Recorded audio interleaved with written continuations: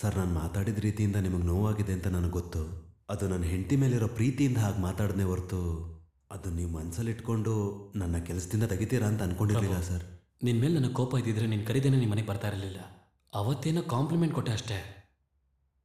ಆದರೆ ನಿನ್ನ ಜಾಬ್ ಹೋಗೋದಕ್ಕೆ ನಾನು ಕಾರಣ ಅಲ್ಲ. ಒಂದು ದೊಡ್ಡ ಕಂಪನಿಗೆ ನಿನ್ನ ಕೋಡಿಂಗ್ನ ಟೆಸ್ಟಿಂಗ್ ಕಳಿಸಿದ್ದೆ. ಅಲ್ಲಿ ಚಿಕ್ಕ ಎರರ್ ಬಂದಿದೆ. ಅದಕ್ಕೆ ತೆಗೆದು ಹಾಕಿದ್ರು. ಸರ್ ಹೇಗಾದರೂ ಮಾಡಿ ಮತ್ತೆ ನನ್ನ ಕೆಲಸಕ್ಕೆ ಸೇರಿಸ್ಕೊಳ್ಳಿ ಸರ್. ಪ್ರಭು ಪ್ರತಿದಿನ ನಿನ್ನ ಬಗ್ಗೆನೇ push ಮಾಡ್ತಿದ್ದೀನಯ್ಯ thank you sir thank you so much ತಗೊಳ್ಳಿ ತಗೊಳ್ಳಿ ಸರ್ ಹ್ಯಾಂಡ್ ವಾಶಲ್ಲಿ ಅದು ಅಲ್ಲಿ ಕಿಚನಲ್ಲಿ ಇದೆ ಸರ್ ನಾನು ಸ್ವಲ್ಪ ವಾಶ್ರೂಮ್ಗೆ ಹೋಗಿ ಬರ್ತೀನಿ. ಓಕೆ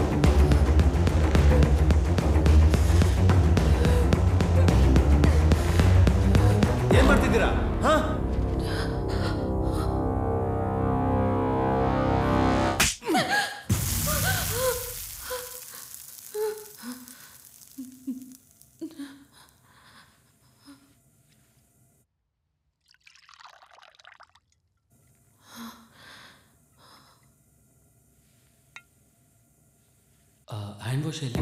ಅದೆಲ್ಲ ಕಿಚನಲ್ಲಿದೆ. ನಾನು ಸ್ವಲ್ಪ ವಾಶ್ರೂಮ್ಗೆ ಹೋಗಿ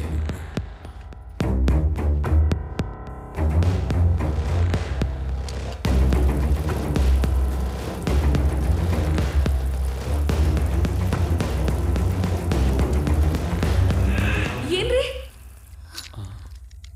ಏನಾಯ್ತು? ಏನಾಯ್ತು ಇವಳಿಗೆ? ಏಕೆ? ನನಗೆ ನನಗೆ ಸ್ವಲ್ಪ ಭಯ ಆಗ್ತಿದೆ. ಭಯ ನಿನ್ನ ಮನೆತನದ ಹೆಸರ. ಎಲ್ಲದಕ್ಕೂ ಭಯ ಪಟ್ಕೊಂಡು ಸಾಯ್ತಾಳೆ. ನೀವು ಬನ್ನಿ ಸರ್.